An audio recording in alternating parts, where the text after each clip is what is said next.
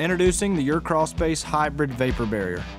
This is a revolutionary new product that combines all the benefits of a traditional woven coated product with a string or a cord reinforced vapor barrier. You get all the abrasion resistance, the puncture resistance. We're looking for something with a smooth finish and something that our tape would stick well to. Just something that would give our customers the best outcome possible, and we found that with the hybrid liner.